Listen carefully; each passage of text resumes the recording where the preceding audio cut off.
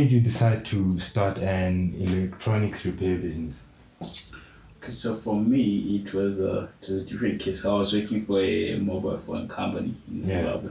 So basically, the problem that we're having with clients. So actually, I was handling their social media. Was that the clients would be complaining, we want spare parts for this phone, we want a battery, we want an LCD for this.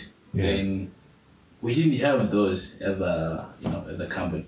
So I said, this is an opportunity. Let me try it if I can secure like uh, suppliers in China that can supply these papers. Yeah. So I successfully did so. Then I had the suppliers. So I started bringing batteries and LCDs and stuff like that. Then I saw that I was actually giving other people money by. Also, you were doing this uh, through the company.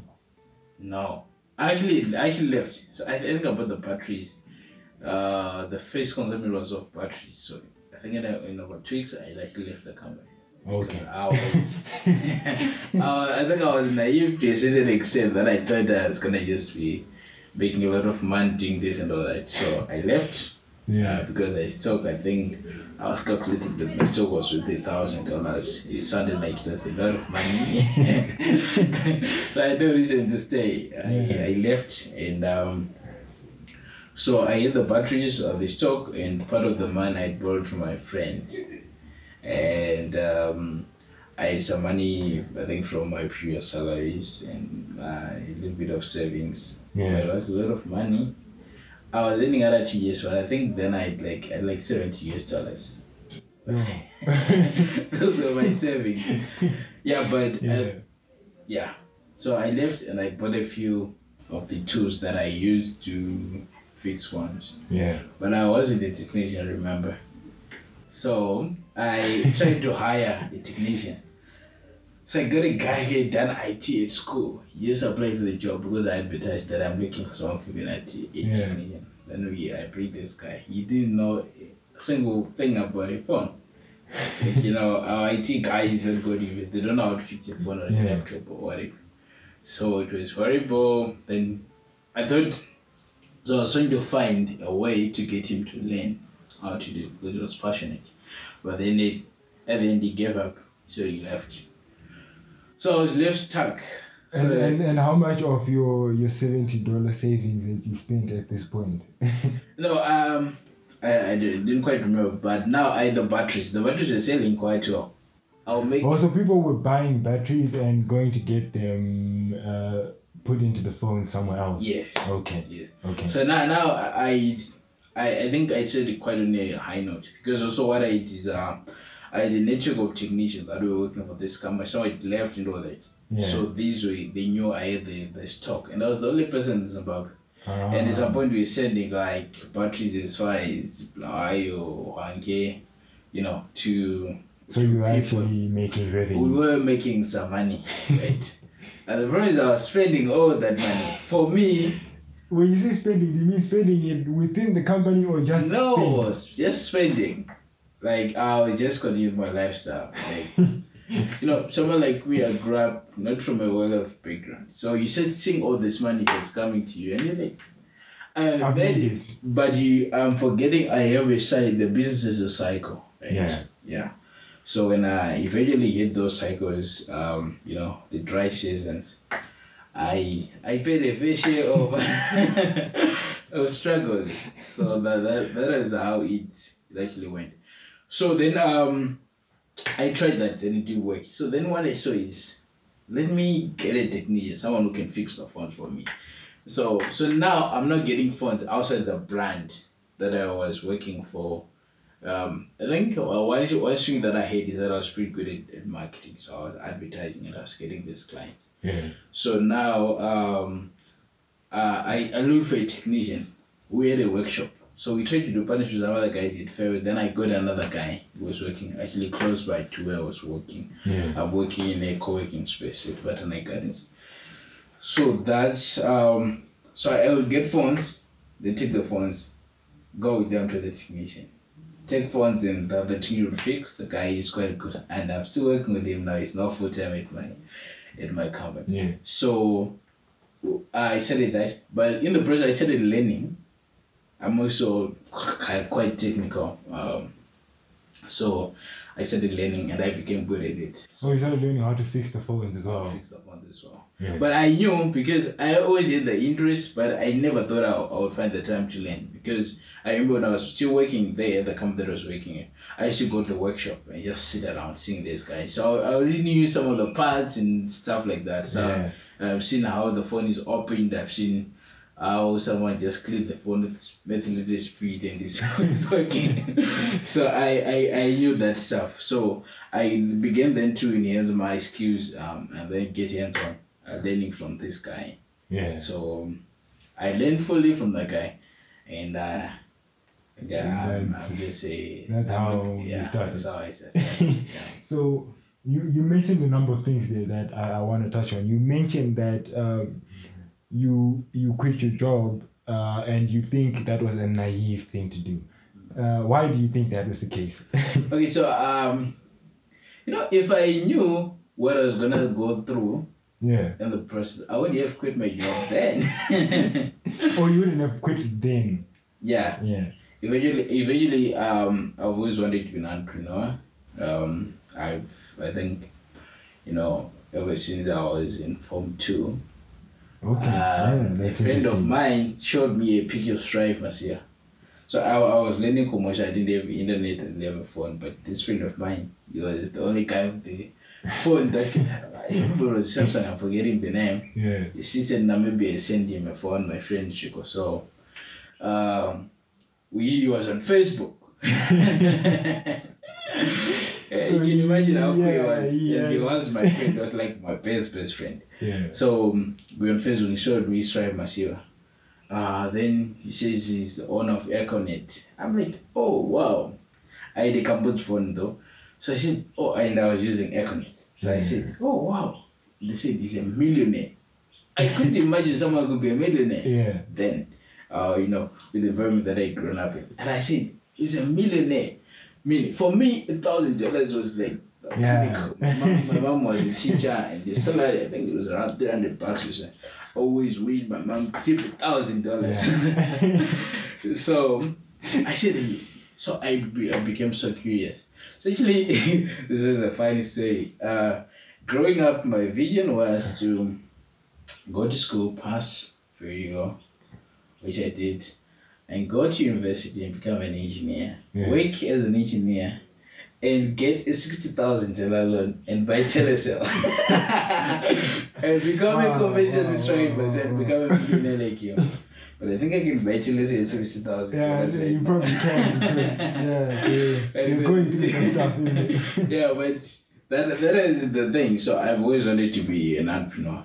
So I've been reading. Like I remember at some point I didn't have a phone, but my mom had a Nokia XpressMusic. So I think there was a time where Opera Mini was free. Yeah. So I always Yeah. Google about billionaires, Ah. millionaires. because, like, In school when I was A level, so when I was O level, I was very focused at school. Like I did really, you know, pass with uh, straight A's. When I was A level, I became sort of a rebel. so I was reading about this, uh, stories of dropouts. People who dropped out. I actually wanted to drop out uh, of A level at some point. I actually stopped school for like two weeks. Then my friends came and they said, dude, what, what are you doing? so I was reading stories about billionaires and whatnot. So Yeah. I've always wanted to be an entrepreneur. Yeah, yeah, yeah. Okay, so so you wouldn't have, like you said, you wouldn't have quit then. You'd have quit at a later point. I, I, I think, okay, I think my emotions could have told me that I don't regret the decision that I made. Yeah. I think you, you're never ready. Okay. I don't think Yeah, you get yeah, to the point where yeah, you're really ready. yeah, but it's always, if you feel like quitting, quit.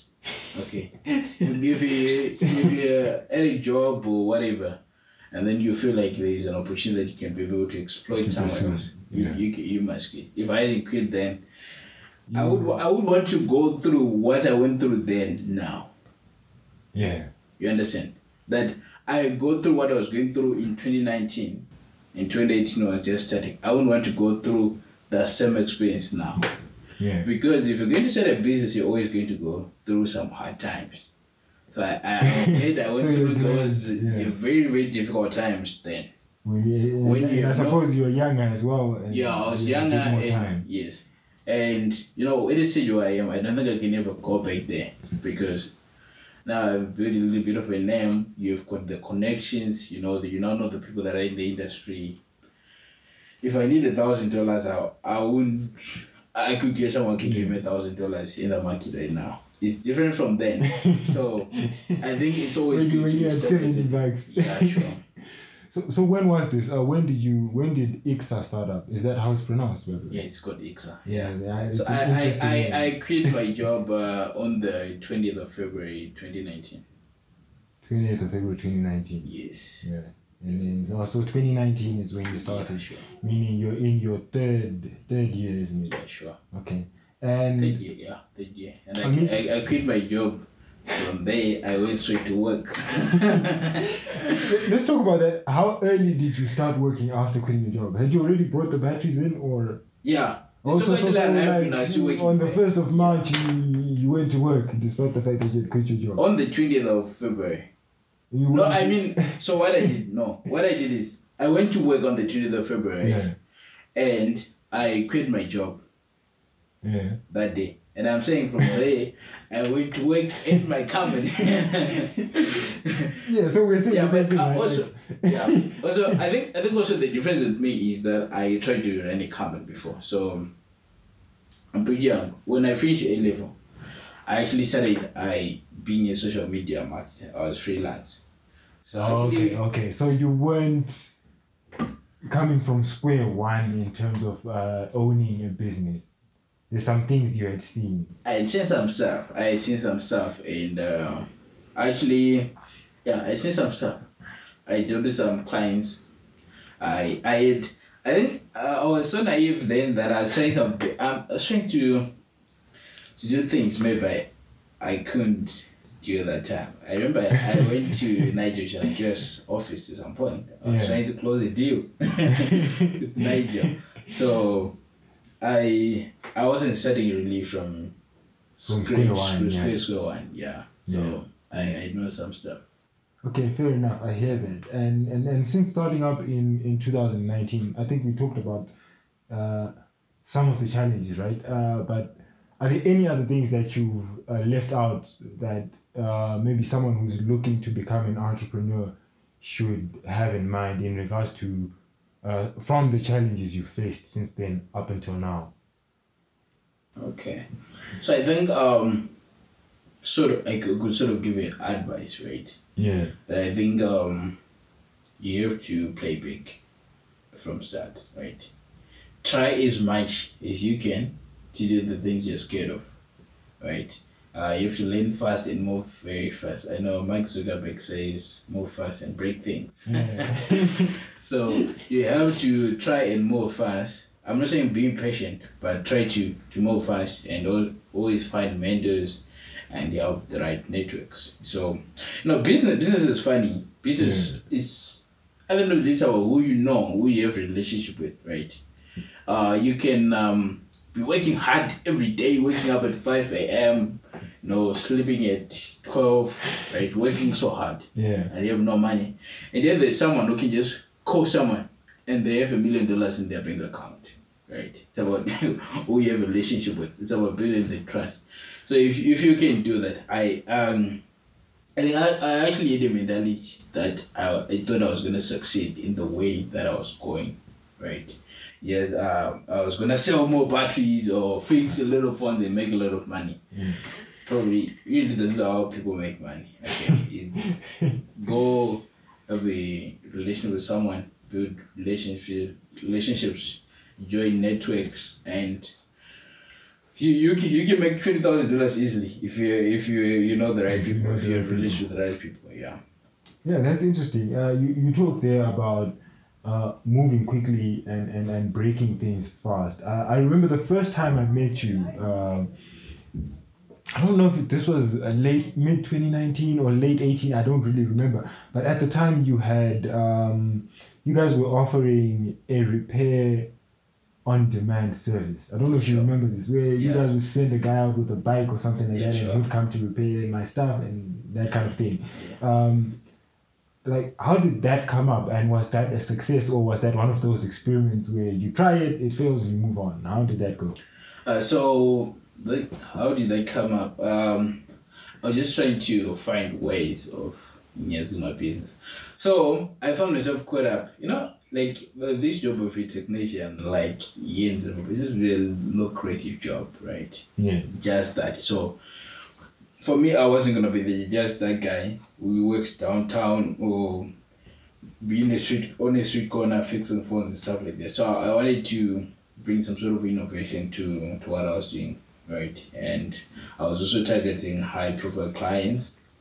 So yeah, it was just a model that I thought of. And that, that was a success to a certain extent. Yeah. So what it did is that it uh, it built our name, right? It got us a lot of attention from from people. Yeah, because I remember your bikes were, were branded, right?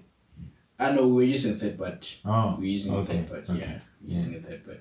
But it got us a lot of attention. Now I people are still doing it. If you actually now doing it, it became like a model for for many people to how they, they do their repairs. Yeah. So we got a little publicity and I remember you guys when you still working for Techzim and you came and you Yeah. you shared about it. I think other platform Cruise Three Chat they were interested. So we gave us a competitive advantage and built our name. It wasn't making us a lot of money as much. Right. Yeah. It But was- it helped. we're trying to figure out a lot of things, yeah. So it, it helped. So this is how, how it was a success. Yeah, yeah. And then uh, I'm gonna ask you something uh, that's maybe not necessarily directly. I think it is a, a part of your story, but um, when you look at, at that industry of uh, electronics repairs in general, right? Um, there appears to be a battle between uh, technicians, uh, or at least independent technicians, and the manufacturers of, of devices. Why is that the case, and has it impacted you guys as a startup? Okay, so um, it's impacted us in this way that you can't have uh, original spare parts from the suppliers directly. Okay, yeah, it affects everyone. Um, and then you can you have, let's say, for us we do like right now, my team does advanced repairs, which means we can fix the motherboard and stuff like that. Yeah. So you need to have access to schematic diagrams. So the schematic diagrams that we have are schematic diagrams that are leaked somewhere in Shenzhen. you see, so that's the this way it's difficult. But the thing is, I understand where it where this is coming. Maybe it's Apple or Samsung. They don't want you to know what they did to build their phone. So they're trying. It's intellectual property. Oh, so it's about protecting the intellectual Yes, property. yes. Because uh, if if you have a, actually a schematic diagram, you know everything You about the phone. can You know essentially how- build you can your own build, iPhone. Yeah, to to a certain extent, and so if they have, and so if it's Apple, maybe they're putting themselves from Samsung, but if Samsung can ever uh, actually the they will know certain things about how they're building their phones, right? Yeah. Then Apple sometimes it's about them just bullying.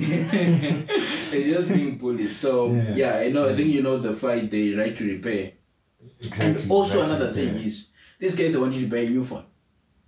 Okay, oh, they Also, want you they to buy don't want, okay, so if I if I if I'm constantly fixing my phone, You're not buying another. I'm not buying. Okay. Yeah. So is I think those three things. They want you to buy another phone, so you they're trying to sell the next phone they're making. So if So it's not in their interest. prepare, yeah.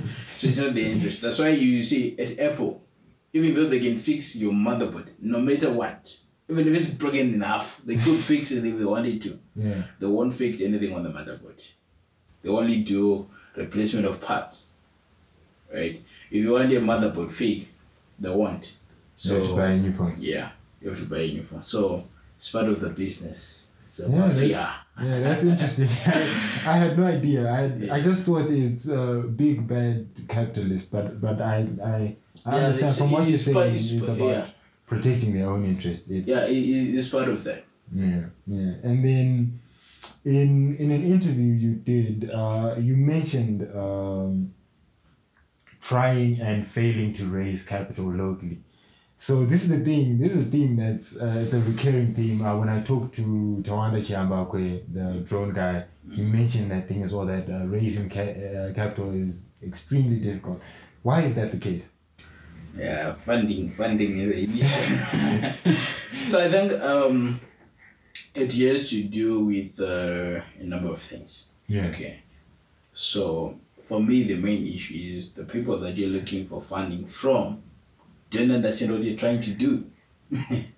Okay. Okay. Explain. So you see, a lot of people that are let's say multi-millionaires, retired multi-millionaires, these are someone that has fifty million dollars that they say they don't want to invest in a startup, even fifty thousand dollars or anything. They don't understand.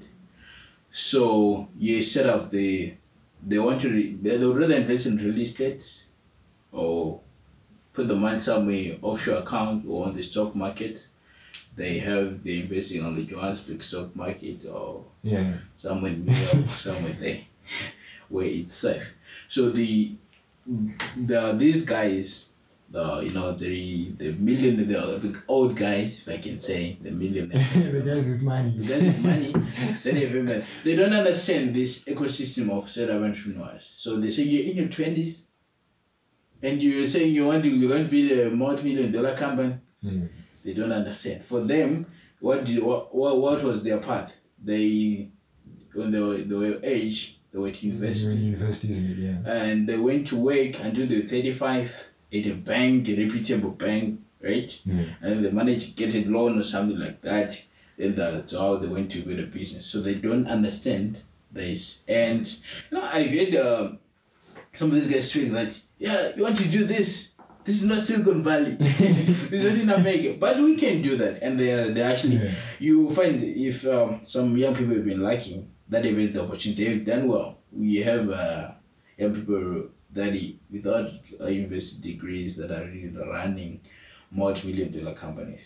Yeah. So that's the challenge number one. That the So, so, person is supposed to be, you know, you know what so is do? it risk aversion or or because I, I fully get where you're coming from, but I also feel like I get where these old guys are coming from. No, so it's it, their it's money, all the factors that are there, right? But Yeah. this is a huge factor in this ecosystem. That Yeah. What you do is if you're going to an investor, right? You're going to explain your idea. No matter how brilliant your idea is, yeah, it's just not gonna. It's hard for them to believe in you. They just don't believe in. They, they haven't bought this idea, so you have to sort of telling them I the the. The nitty gritties of uh startup investing is not Yeah. understood. You know, you know that in the United States, like investors, angel investors, venture capitalists, they Yeah. actually go for courses and whatnot to understand the, the Yeah. startup investing. Yeah. So it's, it's something that investors have not not- understood in this market. Yeah. Then there's yeah, there's just um we go also to our ecosystem, the market is not very much supportive. But we have seen that in other countries where people are beginning to understand this.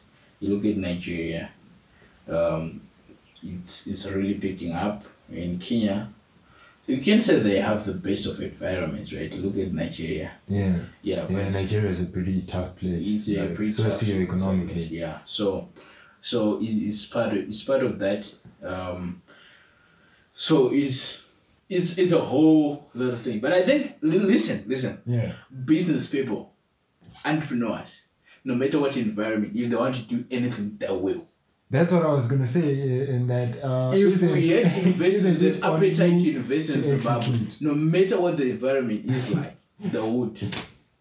If they understood this, Yeah. right? For so for me, my better is is to these guys, to the investors. If they wanted to do to invest really, they would.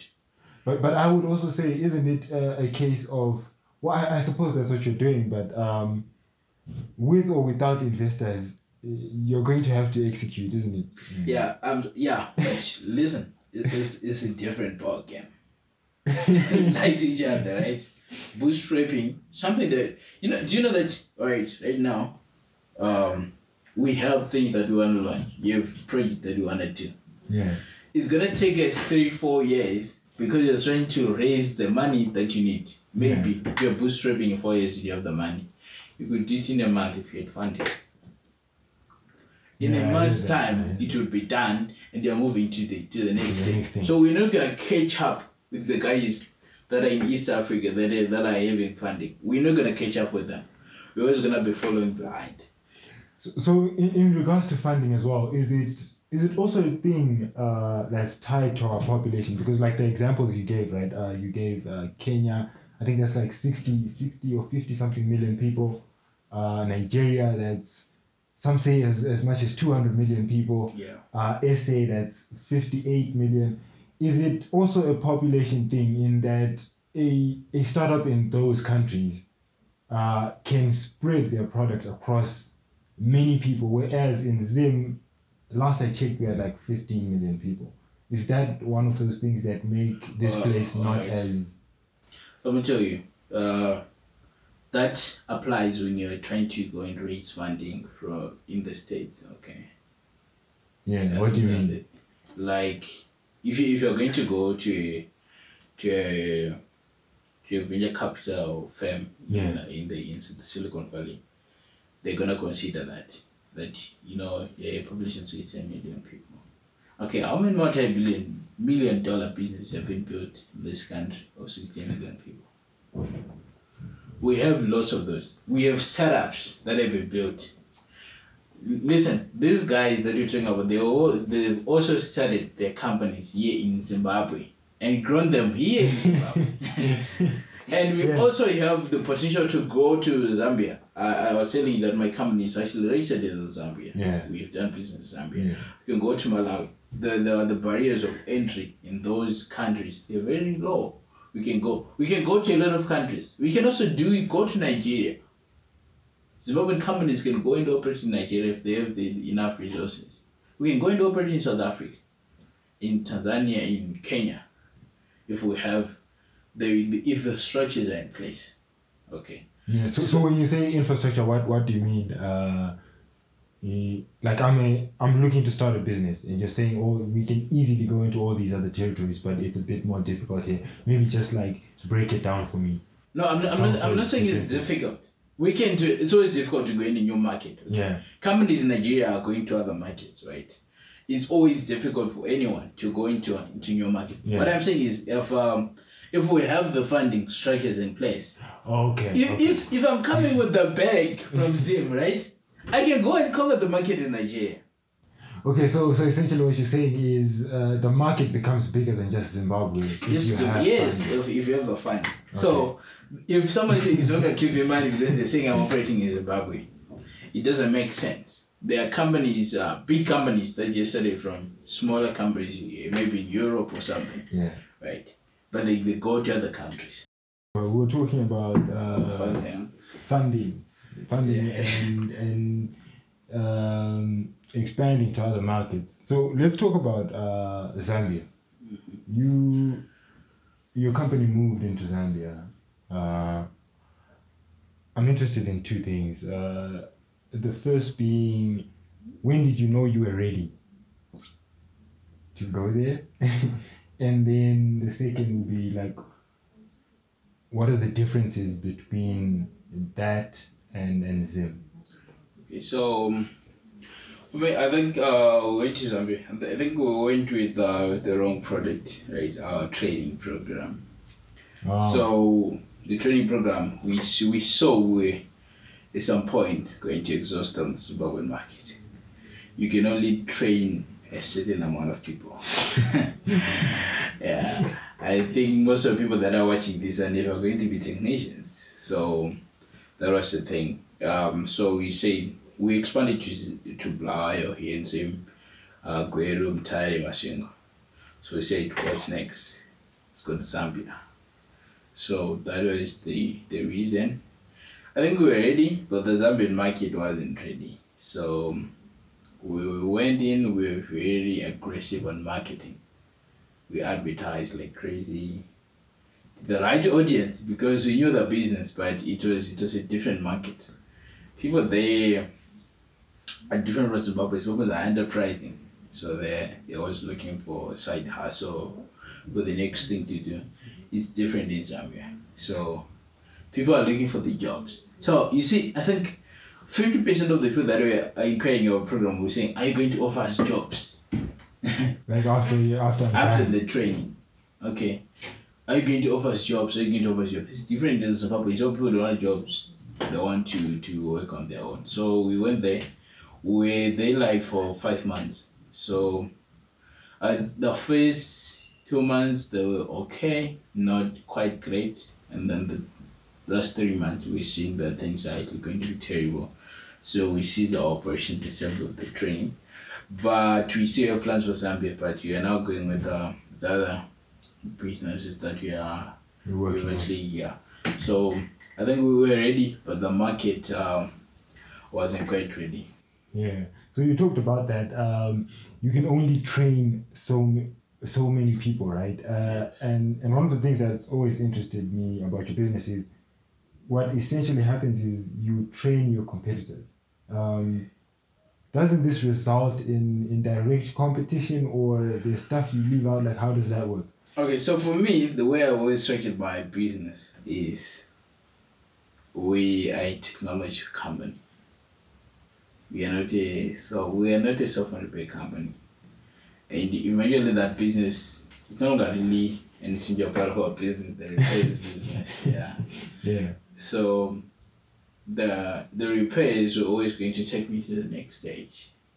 The training was always going to take me to the next stage. I think we will talk about what we're now more focusing on. So Mm. for me, my goal was to build a is to build a smartphone brand. Yeah. Training technicians in the market helps me achieve that goal. So I wasn't looking at that it's gonna distract what you're doing right now, that you're fixing phones. So So is that essentially to say for you, uh, long term, it was we make our own phones, but there are now so many technicians who can then work on these phones. Yeah, is sure. it in the So, manufacturing or the repairs? we, or are both? going to do the assembling, yeah, and also on the repair side. So that's that's that was the, the goal. Okay. And we're also helping people. Imagine, I think, um, yeah, we're in business to make money, and we make money from the trainings. But I guess satisfaction. No, I was in in Mrewa last week. and Yes, someone just noticed. Yeah, the guys who train people to fix phones, and a lot of young people that didn't have a job or something like that, that are now full time technicians. They're actually making real money. I know. Yeah. yeah so it's it's all it I think it's secondary but it's um it, it's quite important Yeah. yeah And so in line with uh, making smartphones, right? Because someone who's who's going to be watching this is going to be like, man, this guy, he's saying the wildest things. he's saying the wildest things. Um, in in your view, what needs to happen before you can reach that uh, stage as a company? Because, all right so it's I think it's wild that I, I I would imagine we can do that you see I think Mara they closed their their manufacturing plant in South Africa oh, they closed it. they closed it they're struggling to make Yeah, it that's sad. yeah That's pretty sad. So the smartphone uh, industry is quite a competitive industry, and you can't play small. Yeah, Otherwise like you can't you can't it. just sell on the on the basis of being African. Like yeah, you can't. So, I, I I would understand if someone thinks that's a wild dream, but basically for me, right, uh, the, at the core of my heart is we want to create something that's African, but the narrative of being African doesn't sell. So what do we do? Um, from here, what we could do if we're going to create a smartphone brand right now, the companies in China they can manufacture the phones, right? You basically design and come up with everything that you want. You choose the chips that you want. Because what people don't understand is that companies, a few companies in the in the world make phones. Yeah, Right? yeah. like it's basically mostly made in, in China, isn't it? Yes, but no. What I'm saying is, for example, let's say um, Oppo, right? Yeah. Uh, when you say they make phones, what do they make? Do Well, they, they don't make the screens. They don't make they the don't make the chips. They don't uh, make they the don't chips. make the software. they don't make the batteries. Yeah. Okay, so there are companies that does all that. So okay, I understand what you're yes, saying. so I think I think we a company that we say makes phones is Apple. Okay, and Samsung maybe they, they make their chips in some phones. yeah. Okay, so it's about just understanding and having that value chain in mind, and if you manage to figure out that value chain, so it's about knowing even the relationships with uh, Qualcomm. Okay, uh, are you going to be using Qualcomm? Are you going to be using MediaTek? The screens they are made by other companies. It's usually Samsung. Yeah. Okay. Yeah, So- Samsung, I've heard LG, that kind of thing. Yes. So that's and I think Sharp also does screen. So it's that. Okay. So it's not like you somebody is now trying to imagine how they're going to make the screen or they're going to take the glass you know that. So it's uh, understanding that evaluation. I, I know most African brands they get um you know a lot of backlash that you're white labeling. That's what everybody's doing. Yeah. yeah. That's what everybody's doing. The chips are the Oh, so so you mean to say it's unfair to then go to these guys and say they're white labeling because No, it, essentially it's unfair. Everyone is doing everyone is. Yes. Everyone is doing it. It's just like fair cars. enough. Yeah, fair like enough. everything okay fair enough. I hear you. yes so that's yeah if you say Jito is like white labeling yeah I know you have a problem you hate yourself that's what everybody is doing okay they, you Yeah. think Jito is a, pla- a plant that makes the plastics that goes on the back of their phones they're never going to do that okay Yeah. so that's what you're basically going to do is uh um coming up with a deal or actually or at some point did a deal with uh a company that manufactures phones in China, then we choose the kind of um, materials that you want on our phones, right? On the usually we to do the Kaiway smartphone, Yeah. and you have a partnership with the with the guys that make the software that you want and all that. So that's the starting point Yeah. if you're going to to make To smartphones. that. Yeah. Then um, later we can be able to have equipment in Zimbabwe or wherever here in Africa where we can actually assemble the smartphones. Okay. Um, we are now taking those files from the suppliers all over the world and they come here and they're assembled here. I think that's that's that's essentially what, what it is to, to say we're making smartphones. We're not going to Yeah. be designing chipsets from scratch. Yeah, fair enough. I I think yeah, it, even on on my part, uh, I don't know why I was I was thinking of it in a certain way when I actually do understand what you what you're saying. But yeah, I, I, I I saw an interview where you're saying this, and I was like, man, this guy, what is he saying? But now that you put it into context, yeah, Yeah. I, I I do understand it, and um, we've talked about uh, pivoting a number of times in this interview. Uh, I know that now you you're getting into uh, cyber sec, cyber security and, and, and software development. And yeah, this one confuses me. This one you're gonna have to you're gonna have to explain to me. Um, and the reason why I say this is because usually what happens with maybe not just entrepreneurs but with uh, businesses is uh, there's a core focus, like a clear core focus that's followed through on. Uh, and usually when companies start to branch out, uh, weird things happen is how I would describe it. So when you guys say you're moving into software development and cybersec, uh, what does that mean in the context of, of your company? And beyond that, uh, why is this something you feel you need to do? Okay, so um, a startup Yeah. uh, there is a core focus. It's actually going to fair. Okay. So what you have to do is, I think, either be uh, when you're starting a company or whatever, right? Yeah. You have to define your core values, right? And I think those should be the guideline and the map of where you wanna go. So for me, uh, I think I said this before. My company is a software repair company. Yeah. It's not an academy where you train people to fix ones. We basically for me is is about technology, right? So, but the end point that I could find to get in the market was fixing phones. Okay. Yeah. So um, we say we're saying we want to build a smartphone brand. Okay. You have to understand software for a smartphone brand. You have to have custom apps if you're going to have a like you know, I think one of the things that African smartphone companies are failing to do is they can't even have software that's local on their smartphones. So we, we need that. So for us it's about always taking the next step towards the vision. This is why I'm telling you, like you're asking me why am I training my competitors? And I'm saying it's not about it's not about what I'm doing right now. It's about the vision that I have. And that's what guiding everything else that that, that, that you're doing. Yeah. So it's not like we are branching out. We are on the vision. So the vision is to have a smartphone brand. What is a smartphone brand? A smartphone is made up of the hardware and the software. So we understand the, the hardware very well. Okay, I think we tr- we trained our best technicians in the country. We've no doubt about that. Mm. Some of our technicians, those that are really good, actually can be can can build some someone has a degree in electronics, especially Yeah. when it comes to smart to mobile phones. Yeah. So we we are doing that. So that's that's where we are going. So we want to we are providing the solutions, okay, but along the uh this line of smartphones. So that's where the thing is. Yeah. Yes. So so yeah, I get I get the why. Um, but uh, so what are you guys doing in terms of uh, software development? Is it from websites, apps? Like how does that work? Uh, we are focusing mostly on apps. Uh, so right now, so what you're going to be doing is uh, going to be developing software that's for us. We gonna it's gonna be used in the market.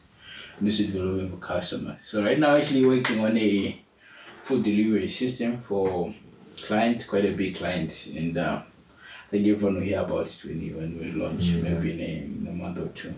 So and uh, on the um, cybersec, we're actually developing our own um, software that's used in this cybersecurity space. Not complicated software like we're not making antivirus, but we, we need simulators and all that. Yeah. So we um we are developing that. And we're also developing, I think, uh, it's a wallet. Uh, Like what mobile money or what? yeah, I think what you call mobile money. I suppose I suppose we'll see it as yeah, as, you as, see it as, as, as things time unfold. Sure. time Yeah. unfold. But yeah, it was it was great chatting to you. I remember the first time we uh we we conversed in 2019 Yeah. uh, it was interesting then. It's interesting to see what you've done since. Uh, I have like one last question, and I tend to ask this to to entrepreneurs especially because you guys are a bit uh, crazy, isn't it? Um, and I say that with Used no to- offense intended. with no offense intended, but uh, the reason I say that is because um, when I think a good example is is Tawanda, uh, who's who's in the drone industry, right? Is Yes. uh, when you set out to start doing these things, uh, no one else can see it but you, or maybe you and a few people that you start your companies with. Um, how do you uh, how do you keep going when you're doing something that's crazy? Again, uh, no offense intended. How do I keep going? yeah, because I, I, look, I think most people they think you keep going because of motivation. I think the best thing you can do to your life is having structures about everything. Have your life structured, and right now I'm I'm actually in the process of structuring mostly my personal life. I structured my I think my career life. I have quite have it quite structured. So having structures that are and systems in place it allows you not to quit. Alright, right now I have employees. Okay, I just quit. Okay, so it's it's the things like that. I have employees. I'm not. I'm no longer working alone. I think when I'm setting out, I was alone or sometimes with someone. But then and now I have I have this big huge salary bill. you have to pay at the end of I each pay the end of each month. Um, I have things that I want to achieve. And I think what what happens, I think, when you taste a little bit of success, you want more. Okay. Yeah. I think when you when you had a let's say when you had a small phone Cambodia phone with buttons back in the day which could play music and go on the internet on Facebook, you were happy. Yeah. You're like triple for Facebook and it's, you you are happy. But then when you see there's an Apple, you know, there's A a, bigger thing. a bigger thing, you're like, oh, I want that. Okay, so it's always that thing that you have what you have now, and you see the next thing, and you're like, oh, nice thing. Yeah, like when you get yeah. married, you see the I want Yeah. That, could- At least no one gets to see my face again, so they won't be like, you're the guy so who that, won." that's the that's the thing. No, it was great having you, man. Uh, I really enjoyed uh, chatting to you again. Uh, all the best uh, in your in your endeavors. Thanks, man. We can uh, keep pushing. Great stuff.